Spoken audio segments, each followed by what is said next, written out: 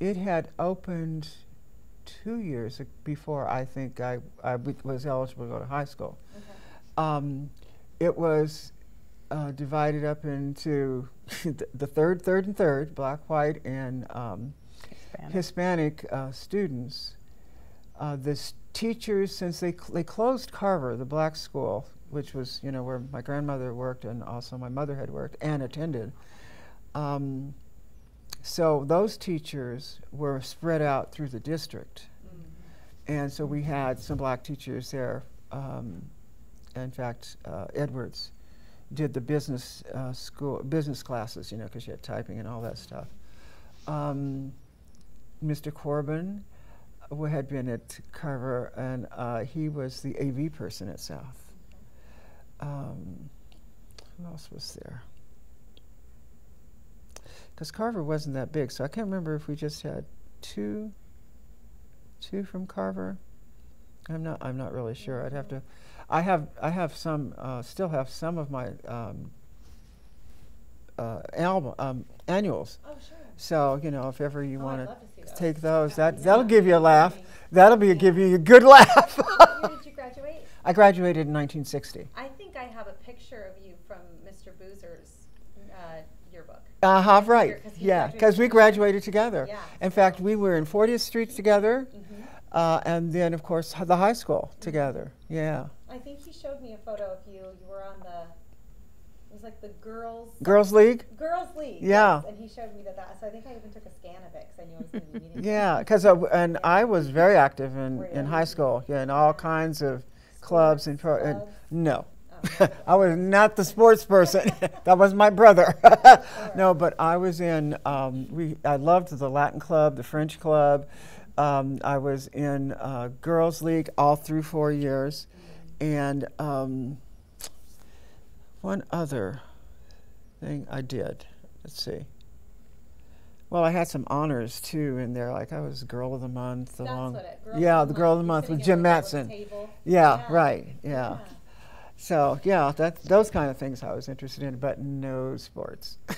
I went. I had to take PE because we had to, sure. you know, uh, and I didn't mind some of the things I did, like speedball and that sort of stuff. But you know, athletes. Uh, I was really in the arts in terms of performing because I had been in ballet for about four years, okay. and because um, good story there. My next door neighbor on Broadway came in. She was a teacher, Julian uh, name was at that time Eloise Hardiman, mm.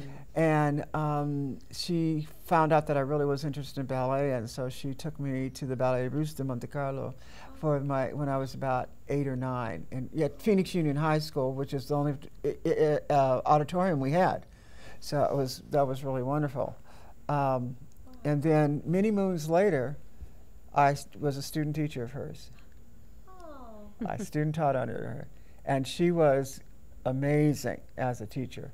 Very bright woman, you know, little eccentric, little eccentric, but very bright. And um, she she did things like um, the first day I was going to lead a lesson, and I have a tendency I have to watch out now. But if I'm in a group and I'm talking.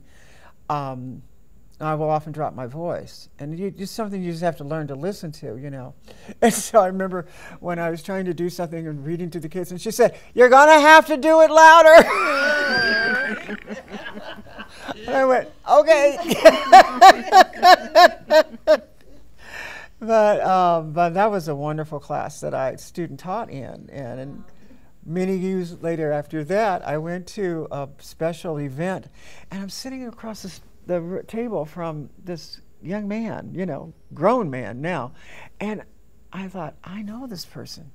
I just don't, I can't remember the name.